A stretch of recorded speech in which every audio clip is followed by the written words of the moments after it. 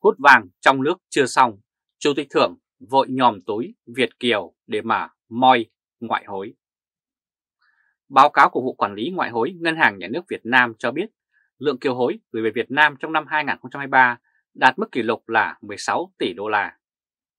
Tổng số kiều hối gửi về Việt Nam trong vòng 30 năm từ năm 1993 đến nay được thống kê là 190 tỷ đô la.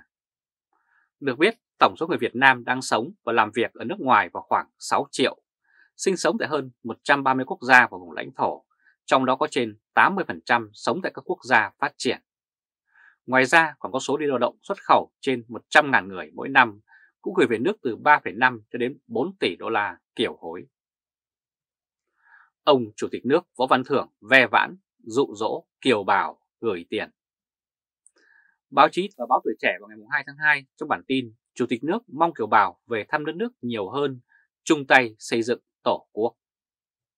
Bản tin cho biết tối ngày 2 tháng 2, tức 23 Tết Nguyên đán, Chủ tịch nước Võ Văn Thưởng cùng phu nhân đã tiếp xúc với 1.500 kiều bào trong một buổi lễ lớn tại hội trường thống nhất thành phố Hồ Chí Minh.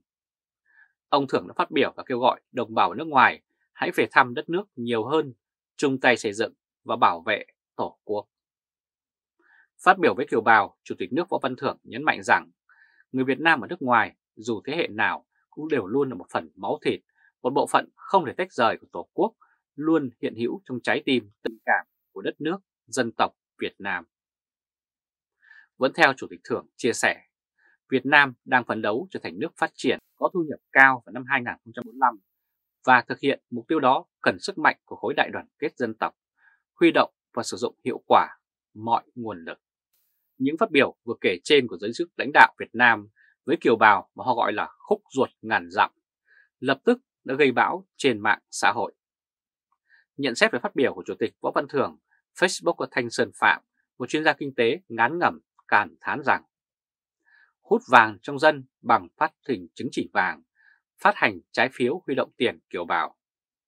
Nghe các phát biểu này cứ như năm 1945, ngày thành lập nước, lúc đó chính quyền non trẻ mới thành lập thiếu thốn đủ thứ, phải vay tiền hỗ trợ từ người dân và kiểu bào. Công trái xây dựng đất nước có thời hạn 10 năm lãi suất 2%, nay bị vứt bỏ vì không còn giá trị. Ý kiến khác nhau thì cho rằng kiều bào vì Cộng sản Việt Nam mà phải bỏ nước ra đi sống lưu vong. Bây giờ được đóng góp xây dựng đất nước cho Cộng sản hưởng hay sao? Bên cạnh đó, nhiều ý kiến cũng bày tỏ sự nghi ngờ rằng từ năm 1975 đến nay, đất nước đã thống nhất được 49 năm. Việt Nam có thời gian rất dài ổn định xây dựng đất nước. Nhưng vì sao đất nước không có tích lũy, vẫn luôn luôn thiếu thốn và thiếu vốn để mà xây dựng? Nhà nước vẫn phải ngửa tay đi vay tiền các nước trên thế giới và trông mau vào kiểu bào là sao vậy? Theo giới quan sát, lâu nay quan chức Việt Nam luôn cho rằng tiền và vàng trong dân còn nhiều lắm. Vì vậy họ luôn tìm cách móc hầu bao của người dân trong và ngoài nước là chuyện có thật. Cách đây không lâu, vào ngày 25 tháng 1, báo điện tử Vietnamnet đưa tin với tiêu đề đề nghị lập sàn hút 400 tấn vàng trong kết nhà dân. Bản tin cho biết tại tọa đàm giải pháp phát triển thị trường vàng an toàn và bền vững do Cổng Thông tin Điện tử Chính phủ tổ chức. Các chuyên gia đã đề nghị thành lập sàn giao dịch vàng để có thể huy động khoảng 400 tấn vàng đang nằm trong kết của nhà dân. Khi người dân đưa vàng cho nhà nước quản lý, đổi lại sẽ nhận được tờ giấy biên lai gọi là chứng chỉ vàng thay cho vàng thật. Cũng xin nhắc lại, trong quá khứ, chính quyền của nhà nước Cộng sản Việt Nam đã nhiều lần cho vay tiền, phát hành công trái phiếu cho nhân dân như công phiếu kháng chiến, công trái quốc gia, công phiếu nuôi quân và lần cuối cùng đã phát hành công trái vào năm 1985. Đó là những khoản tiền nợ dân mà nhà nước phải trả, nhưng đến nay nhà nước đã lờ đi và người dân coi như đã mất trắng. Ông Chủ tịch nước Võ Văn Thưởng của Việt Nam Theo chuyên gia kinh tế, tài chính Bùi Kiến Thành chia sẻ, với trên 300.000 hoặc có thể là gần 500.000 người ở hải ngoại về quê ăn Tết, rõ ràng số hiện kim bằng đô la, euro hay bảng Anh mà họ mang về cũng đã đóng góp thêm sức mạnh ngoại tệ cho Việt Nam. Trên mạng xã hội có ý kiến nhận xét rất xác đáng về cái gọi là chính sách thu hút tiền bạc của nhân dân và kiều hối của Việt Kiều và cho rằng Việt Nam, một nhà nước chỉ chăm chăm nhìn vào túi người dân để tìm cách vơ vét thì chỉ có thể là một chính quyền ăn cướp. Quý vị và các bạn vừa theo dõi chương trình tiếp của Thời báo chấm ngày hôm nay với bản tin Hút vàng trong nước chưa xong, Chủ tịch thưởng vội nhòm túi Việt Kiều để moi ngoại hối. Quý vị và các bạn hãy chia sẻ video này cho nhiều người biết và bấm nút theo dõi YouTube và Facebook của Thời báo .d để luôn được cập nhật những bản tin mới nhất, nhanh nhất và trung thực nhất. Từ Berlin, Cộng hòa Liên bang Đức chào các bạn và hẹn gặp lại các bạn ở bản tin lần tới. Trung Khoa, Thời báo Quy định nồng độ cồn 0%, kinh tế xa sút dân thành bỏ sữa để công an lợi lớn. Số liệu thống kê của Ủy ban An toàn Giao thông Quốc gia cho biết, trong năm 2018, Việt Nam đã xảy ra hơn 18.000 vụ tai nạn giao thông, trong đó chiếm 70% số tai nạn giao thông là do lái xe uống rượu bia khi tham gia giao thông, khiến cho 8.125 người thiệt mạng và 14.194 người bị thương. Tổ chức Y tế Thế giới WHO mới đây cho biết khi khảo sát hơn 18.000 nạn nhân tai nạn giao thông tại Việt Nam thì có đến 36,5% người điều khiển xe máy và 66,8% người lái xe ô tô có nồng độ cồn trong máu vượt ngưỡng cho phép. Đó là lý do WHO xếp Việt Nam đứng thứ hai trong khu vực ASEAN về số người chết do tai nạn giao thông. Người Việt giảm uống bia, doanh số các công ty rượu bia lao dốc thảm hại. Chính quyền Việt Nam đưa ra chính sách cấm người lái xe có hơi men được công luận đồng tình, nhất là việc lực lượng cảnh sát giao thông xử lý quyết liệt với các lái xe say xỉn. Nhờ đó, số vụ tai nạn giao thông trên đường đã giảm hẳn, cũng như đang thay đổi thói quen của một bộ phận người dân thích nhậu nhẹt là điều đáng hoan nghênh. Theo quy định của luật giao thông đường bộ hiện hành, không cấm tuyệt đối nồng độ cồn 0% khi lái xe, mà quy định ngưỡng nồng độ cồn đối với người điều khiển phương tiện, cả xe hơi và xe gắn máy là trên 500mg trên 100ml máu, hoặc tức là 0,25mg trên 1 lít khí thở. Tuy nhiên mới đây trong dự án luật trật tự an toàn giao thông đường bộ do Bộ Công an chủ trì soạn thảo, việc cấm uống rượu bia khi lái xe một lần nữa lại được đưa vào luật.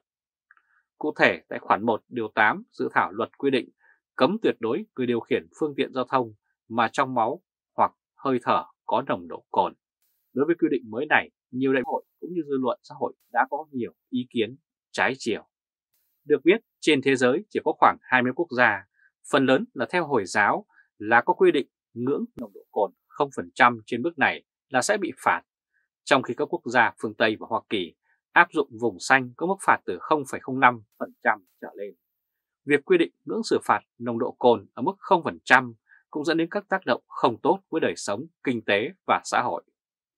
Cụ thể, việc tăng cường xử phạt nồng độ cồn đã có tác động không nhỏ đến lợi nhuận của các công ty sản xuất cũng như các cơ sở kinh doanh rượu bia trong năm 2023. Bộ trưởng Công an ông Tô Lâm Theo tờ báo Việt Nam Express, chỉ trong 2 tháng cuối năm 2023, sau khi Công an thành phố Hồ Chí Minh phát động chiến dịch lớn nhất từ trước đến nay về kiểm tra nồng độ cồn đối với các lái xe, thì các quán nhậu trở nên vắng vẻ bởi các đội cảnh sát giao thông đã đến túc trực tại những con đường tập trung nhiều quán bar, nhà hàng và quán nhậu đã khiến người dân bớt thói quen đi ăn nhậu.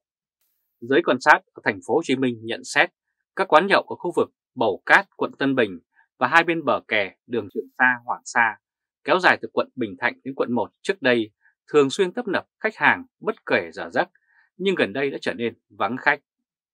Nhiều chủ quán đã phải đóng cửa sang nhượng mặt bằng do kinh doanh thua lỗ. Cũng theo tờ báo Tuổi Trẻ Online, báo cáo tài chính năm 2023 của công ty cổ phần Bia Sài Gòn, Hà Nội cho thấy doanh nghiệp này đã doanh thu hơn 609 tỷ đồng, giảm 3% so với năm 2022 và lợi nhuận sau thuế giảm tới 25%, chỉ đạt có 43,4 tỷ đồng.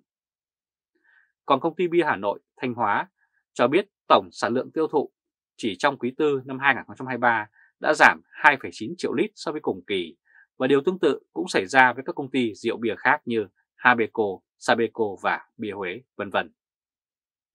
Qua tìm hiểu của phóng viên Thời báo chấm được biết, nguồn cơn của tình trạng trên xuất phát từ Nghị định 100 của Chính phủ ban hành vào năm 2019 và nghị định mới nhất do Bộ Công an ban hành vào cuối năm 2023 về xử phạt vi phạm hành chính trong lĩnh vực giao thông. Một trạm kiểm soát giao thông ở Hà Nội. Nhưng quan trọng hơn cả, theo quyết định về phân bổ ngân sách trung ương được Quốc hội thông qua chiều ngày 10 tháng 11 năm 2023, Bộ Công an được hưởng tới 85% số thu xử phạt vi phạm trong lĩnh vực an toàn giao thông, 15% còn lại dành cho các địa phương để chi cho các lực lượng khác. Điều đó đã kích thích sự hưng phấn làm tiền của lực lượng cảnh sát giao thông, khiến lực lượng này bất kể nắng mưa 24 trên 7 có mặt trên đường để mà hành dân. Công luận thấy rằng việc Quốc hội cho phép Bộ Công an được hưởng tới 85% tiền phạt là nhà nước mặc nhiên cổ vũ khích lệ cho việc xử phạt, đó là hành vi coi dân là con bò sữa. Dù rằng chủ trương cấm người có nồng độ cồn cao đi điều khiển phương tiện giao thông là hợp lý, góp phần giảm thiểu tai nạn nhưng cũng không nên áp dụng một cách quá cứng nhắc đến như vậy. Quý vị và các bạn vừa theo dõi chương trình trực tiếp của Thời báo chấm với bản tin hôm nay quy định nồng độ cồn 0%, kinh tế xà sút, dân thành bỏ sữa để công an hưởng lợi.